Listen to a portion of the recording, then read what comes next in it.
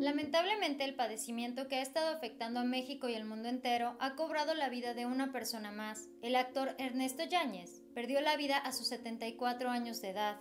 Él presentó complicaciones ante este malestar. A través de la cuenta oficial de Twitter de la Asociación Nacional de Actores, se puede leer el siguiente mensaje publicado.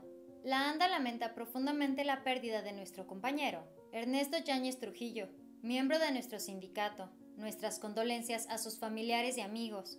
La pérdida del actor también fue lamentada por la Secretaría de Cultura de la Ciudad de México, quien a través de su cuenta de Twitter de igual manera quisieron mandarle el siguiente mensaje.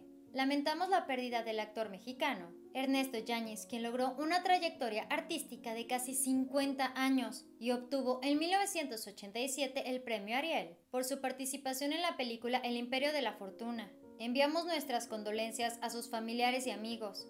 La noticia de la pérdida del actor se produce unos cuantos días después de que Marco Treviño, el secretario de la ANDA, diera a conocer que el afamado actor se encontraba en su casa tras ser diagnosticado con este padecimiento. Apenas la semana pasada se daba a conocer en redes sociales que se necesitaban 9 mil pesos para el tratamiento del actor.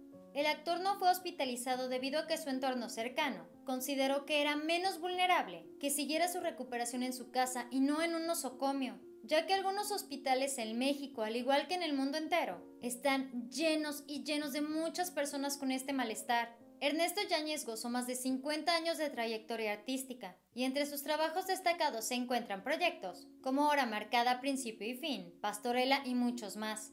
Ernesto Yáñez suma una filmografía superior a las 60 producciones en cine, televisión, al igual que sus participaciones en teatro, él comenzó su carrera en la cinta La montaña del diablo, al igual que la serie Los Miserables. De estos proyectos siguieron otras producciones, como Mentiras Piadosas alcanzaron estrella, Hora Marcada, Principio y Fin, y por supuesto El Imperio de la Fortuna. Gracias a esta pudo ganar el premio Ariel a Mejor Actor de Cuadro.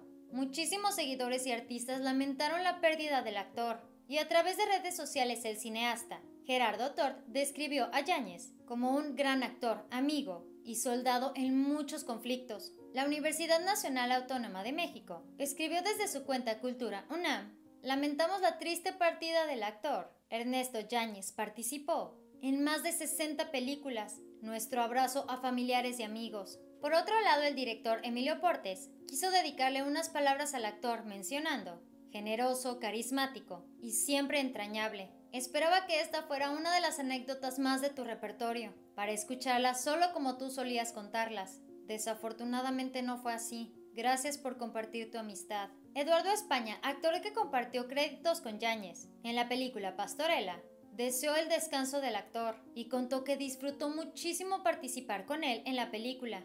Gracias a la situación generada por este padecimiento, al menos aquí en México, lamentablemente muchísimos actores también han perdido la vida, como es el caso recientemente de Raimundo Capetillo, Ricardo Blume, Oscar Chávez y muchos más. Apenas en el mes de julio se dio a conocer el caso de Raimundo, después de que este sí fuese internado en un hospital. Él tuvo complicaciones de este padecimiento, con el cual también se le había generado una neumonía fuerte. Capetillo tenía 76 años de edad y a lo largo de su carrera él logró generar un espacio en el corazón del público mexicano, algo que en definitiva Ernesto Yáñez hizo de igual manera. Este fue el muro de la fama. Vamos a dejar aquí abajo en los comentarios un emoji color negro para que así podamos conmemorar la pérdida del entrañable actor Ernesto Yáñez. No te vayas de este video sin antes suscribirte a nuestro canal de YouTube dando clic aquí abajo, al igual que seguirnos en nuestra página en Facebook. Recuerda que este padecimiento todavía no se acaba. Por favor, cuídate mucho, sigue las recomendaciones de salud y si no es necesario no salgas de tu casa. Ten en cuenta que no solo te estás cuidando a ti mismo, sino a todas las personas a tu alrededor. Espero que tengas un excelente día. Nos vemos muy pronto.